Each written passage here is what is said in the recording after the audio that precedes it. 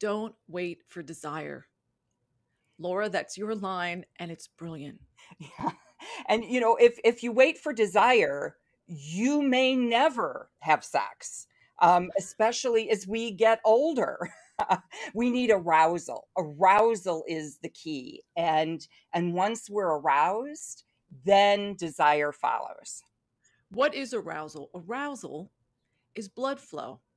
That's all it is. Mm. Orgasm is about getting blood to our genitals Mhm. and filling up that erectile tissue because inside our internal clitoris, we have as much as a penis, as much erectile tissue as a penis with 8,000 nerve endings, the cherry on top. You literally have the most sophisticated sex organ on the planet capable of endless pleasure. Mhm. But we don't touch her. Right? And and touch is how we increase blood flow. You know whether it's touch with your hands touch with a vibrator that is what increases blood flow. It takes us longer to get an erection than a penis. Um, we need more blood flow. So that means that we have got to be touching our vulvas more and make that connection first that connection even if you don't want to become aroused having a connection with your vulva is so important i touch my vulva every day When do you touch your vulva? Because I do mine in the shower. I soap up my hands, I squat, and I just touch everything. Mhm. i usually do it in the evening when i'm watching tv you know I love that. I'll just like lift up my skirt, you know, or I'll have a blanket and just touch. And it's not because I want to have an orgasm. It's just about making that connection. And my vulva feels nice. I like the pubic hair. You know, it's just, it's comforting to just even put a hand and hug my vulva. It's grounding. Yes. And I feel vulvas, they're like velvet. Yes. They're so supple. And then the inner and outer labia, everything is soft. Everything is smooth. It's like satin, hmm you know, and then it lubricates. It's quite remarkable. Yes. And it's for me, I just calm down if I'm, you know, feel like I'm idling high.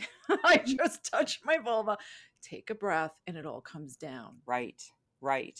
Little kids, you'll see them touch their genitals.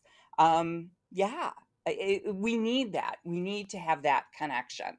Um, and it feels good. You know, I feel Mhm. pleasure as I'm touching my genitals. If I kept it going, it would turn into arousal. And if you keep that going on a regular basis, it becomes desire. So, if we want desire in our lives, the first step is touching our vulvas on a regular basis and creating blood flow. That's like so simple, Mm. right? It's not hard. It doesn't cost us any money. And I, I'm going to rip another one of your lines, Laura, where you said desire happens at the end. Yes, yes, absolutely. You know, we think we wait for the thought. Um, we wait to have that motivation, but it's actually arousal that gives us the motivation. Um, so definitely don't don't wait for desire. If if you start touching yourself on a regular basis, if you become aroused on a regular basis, you're going to find your desire increasing. I also love too when you look at your vulva in a mirror while you're touching Oh, yourself because you can see the arousal happening. This is physical. Arousal is physical. exactly. And there are no inactive orgasms.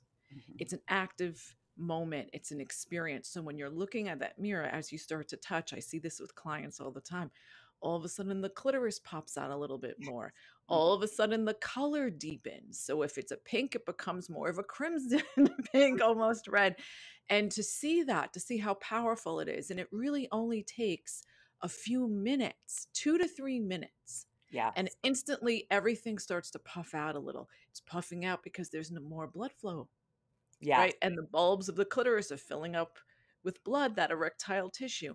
And that's when all of a sudden you start to feel like, wow, I ha- I, I want to keep on going. Right, exactly. So don't wait. Focus on arousal. Do things to support your arousal, mm. and you'll find that you have more desire. Hug your vulva every day. If you can't touch her and do a full massage, just take your two hands, place them all over your vulva, hug her, close your eyes, take a breath. And feel gratitude. Yes. And I have a pussy right behind me that wants to. I know. I saw your come up. I love it. Kitty, kitty. Stroke your vulva. Stroke your pussy.